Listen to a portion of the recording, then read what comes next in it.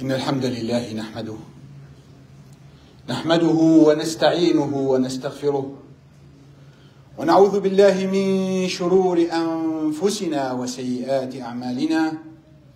من يهده الله فلا مضل له ومن يضلل فلا هادي له. وأشهد أن لا إله إلا الله وحده لا شريك له وأشهد أن محمدا عبده ورسوله. صلى الله عليه وعلى آله وصحبه وسلم تسليما كثيرا إلى يوم الدين. اللهم يا رب العالمين من هذه البلدة هيسلهولم ومن بيت الله هذا عش الحب هذا هذا المسجد واهله الطيبين. نرسل سلامنا إلى سيدي رسول الله صلى الله عليه وسلم. اللهم بصلاتنا على حبيبك محمد بارك بهذا المسجد. اللهم بحبنا لرسولك محمد بارك بهذا المسجد وبأهل هذا المسجد. وبإمام هذا المسجد. وبمسلمي هذه البلدة. وبمسلمي السويد. أجمعين آمين. أيها الأحبة سأكلمكم اليوم عن الحب. وحين يكون الكلام عن الحب فاستمع بقلبك لا بأذنيك. افتح قلبك حتى يدخله حب حب الله. هذا القلب الله سبحانه وتعالى لم يسعه شيء. ولكن وسعه قلب عبده المؤمن الذي يحبه. يا أهل هسلهن ما جاءني إلى بلدكم هذه اليوم إلا الحب. هذا الحب يا إخوتي هو أعظم قوة موجودة على الأرض. لا يوجد قوة تعادل الحب. لماذا؟ اسألوني لماذا؟ لأن الحب لا حد له. كل شيء له تستطيع تقول ينضب. إلا الحب لا ينضب. الحب يا إخوتي يأتي لا تستطيع أن تصنعه. الكراهية تستطيع أن تكره ولكنك لا تستطيع أن تحب. لأن الحب يأتي من الله سبحانه وتعالى. فأنا جئتكم اليوم لأن محبا لله ومحبا لعباد الله قلب مليء بالحب. اليوم سوف ندفنه بعد هذه الصلاة. أخ أحببته في الله لا أعلم عني شيئا ولا أعلم عنه شيئا ولم نلتقي في حياتنا إلا مرتان. مرة حي ومرة الآن عندما غسلناه. الأخ نبيل.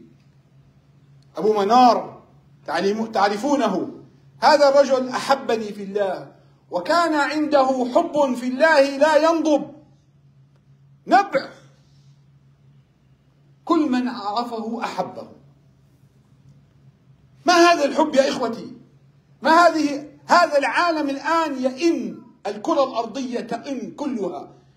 برجالها ونسائها وحيواناتها وأشجارها وأرضها وجبالها وبحارها تئن نحو الحب.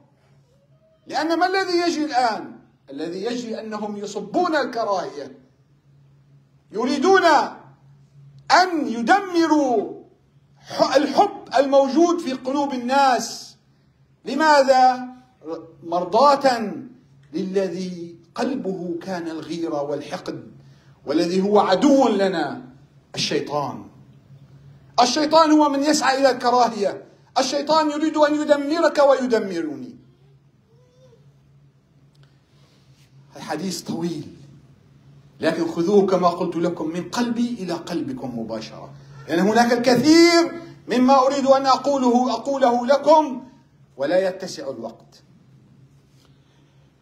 من مسجد هكسبي هكسبي مدينة. جاءوا وقالوا كما تعلمون نحن نعمل ونريد أن نبني مساجدنا دون أن نعتاز أي أحد أو نحتاج أي أحد سواء من هذه من حكام هذه البلاد أو حكام بلادنا. مساجدنا نبنيها نحن فنحن أولى ببنائها. وكما هيأ الله لكم بناء هذا العش لحب الله فالأخوة يسعون نحو ذلك. وقالوا قلت لهم إن شاء الله لن تعودوا خالي الوفاق خالي الأيدي إن شاء الله. فقالوا هناك شيء اسمه سهم. تضرب بسهم. من هو الذي ضرب أول سهم في الإسلام؟ سعد بن أبي وقاص رضي الله عنه. هل تريدون أن تضربوا سهما في الله في سبيل الله؟ من منكم ضرب سهما في سبيل الله؟ هذا سهم في سبيل الله.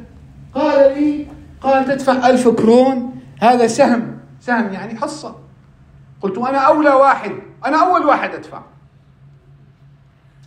وسوف أشجع كل من أعرفه من أهل ودي في منطقتنا في تيبي وهنا حتى نساهم معهم. يا أخي ما مشكلة ما معك ألف كرون ضاع كرون واحد. السويش بياخذ كرون فيك تدفع كرون بالسويش. ادفع كرون ما تخرج ما تدفع شيء. تريد تدفع كرون عشرة مئة ألف عشرة ألاف أنت حر.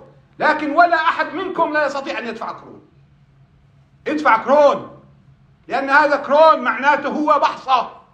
هذه البحصة ربما تكون هي التي ستنجيك يوم القيامة. فاضربوا بسهامكم في سبيل الله وأنا أول ضارب أقول قولي هذا وأستغفر الله العظيم لي ولكم ولسائر المستغفرين فاستغفروه يغفر لكم فيا فوز المستغفرين أستغفر الله العظيم. من مسجد هكسبي.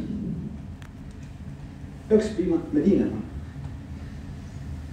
جاءوا وقالوا كما تعلمون نحن نعمل ونريد أن نبني مساجدنا دون أن نعتاز أي أحد أو نحتاج أي أحد سواء من هذه من حكام هذه البلاد.